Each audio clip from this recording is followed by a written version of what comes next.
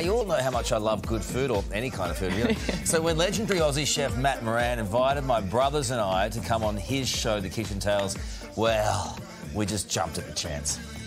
I think my mum told me that you hate Brussels sprouts. Yeah, because they're like they, they, they came out grey and soft, like nothing like that. You, you three, I could just, I could just imagine what you were like as kids. You're all, yeah. Was he the aggressor? Yeah, all the time. I was yeah? not. Yeah, he did. He used to suffocate me underneath the doona every morning. yeah, it was heavy. You know what I used to find with bigger kids, older kids, and bullies is just whack them straight between the eyes. Oh, well, the bigger the better, and then they'll just leave you alone for the rest of that your advice, life. man. Look, I just want to do this, Karl, because it's No, it really, looks it's really bugging me. Yeah, get in there. Get, get that in your neck. Doesn't look any good. Get that in your neck. Hear and the all of a sudden, Brussels sprouts are back. Whoa, back. all right. I was nervous. Anyway, the man himself, Matt, joins us now. Morning to a Big round of applause. Nice Matt to Moran. see you. A real chef. Mm. I was very nervous. Matt, you were Brussels Yeah. sprouts, and uh, I was talking to Karl's mother about Yeah. you know, what the Jenny from the block. Jenny from the block and, and what they liked and what they didn't like, and Brussels sprouts wa- was one of them. So that's why I had to cook them. Yeah, well, Right, Mum- so you don't like him, do you? You know, it's like, what doesn't he like? You don't like Brussels sprouts, right? That's what we're going to Well, make him Tom's eat. the farmer. Yeah. And and that's what I really and I'd never met Tom before, so I really wanted Tom on um, to hear about you know the almond milk and you know Mm. the Mandole and whatever else, and that's what I've made here. Um, but uh, I got the phone call back and said, well, Tom will only come on if his two brothers do too. So, So you got stuck with him. So uh, this now makes more sense because you know I got very upset by the idea that you invited Karl round for lunch before me. Um, but you had to, you were forced to, basically. It was against your will, is what I'm hearing, Matt. well, you know, Brooke was on the first series, Yeah. Karl was on the second, and I've always just keep You got- well, you gotta- I keep. I'm not the- doing a third. No, no, no, no. I'm, gonna, I'm just keeping the, uh, you know, the, the, the best ones for, uh, you know, when, when it comes onto Channel 9 as a TV series. Yes, well, it can come on Channel 9 and very easily done. And you've got to, when, you, when you're getting, Nice when you're pre-recording um, shows for a series, you've got to make sure that host is going to be there. so we'll just hedge our bets a little bit with that. Hey, look, you had the Stefano boys. We've never done anything together, um, a- and so it was it was quite unique and also wonderful. My brother Tom, um, he, he works on the Mandole Almond Farm, and, Yeah. they, and they do this almond milk, which is which is the most delicious thing in the world. And I'm so proud of him. Which of the Stefanovics were the best? Was was the best on the day? Karl, that is a loaded question. What do you mean? Well, you know, or a third each, you know. No, I'll, I'll put him in order for you.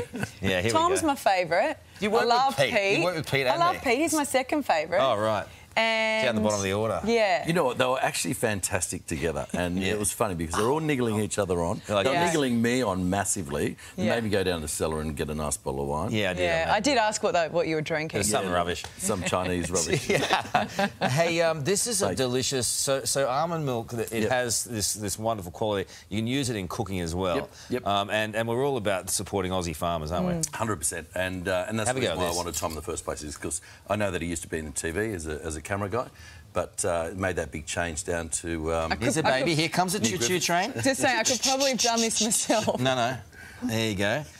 Hasn't quite that? set yet, but it's delicious. Isn't it? it, it is set Wow, because you know you lo- you know that it's set if it, it doesn't sink. Right. Um, that's just me sort of you know Yeah. covering up. Though it was made this morning, so it is still a little bit too soft. But um, so delicious. yeah, a little bit of granola on top of that would be fantastic too. But you've got like a lot. You've got a lot of people who are doing a lot more cooking at home now. I think Yeah. that's something that's come about from last year.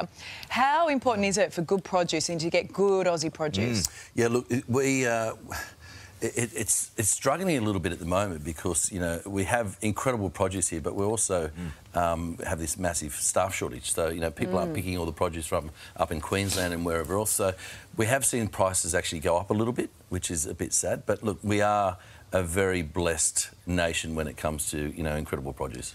Um, you know, um, it's a big issue trying to get people into, um, you know, obviously visas are an issue Yep. at the moment, through not just the, the farms for us eating, but also through hospitality, as you know firsthand. Yep. yep. Look, And- we are we are restricted at the moment on when we can open because we're actually still got uh, massive staff shortages. So we're still under restrictions in certain venues like Opera Bar and Barangaroo House. We're still only at about sixty percent. And are those conversations taking place? Do you think that there is a plan from our government to sort of to fix this? I hope so, Ali. I hope so. Um, the problem is we need people to come in from overseas, um, and you know how do they get here, and then how do we quarantine? Um, but you know we're, we're fighting as much as we possibly can to sort of you know open that up. And favourite guest ever on the show? You will be. Hey, in series hey. oh, what? three.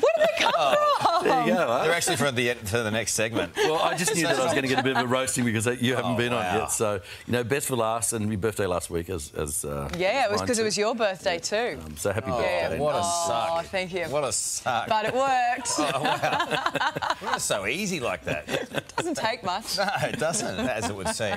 Hey, Matt, great to see you. Um, and if you want to watch more episodes of Kitchen Tales on Matt's YouTube channel, head to youtube.com forward slash slash uh, chef Matt Moran and uh, watch all of us in our glory. And also, thank you for supporting my brother in Mandole. It's, um, it's a really wonderful thing for you to do.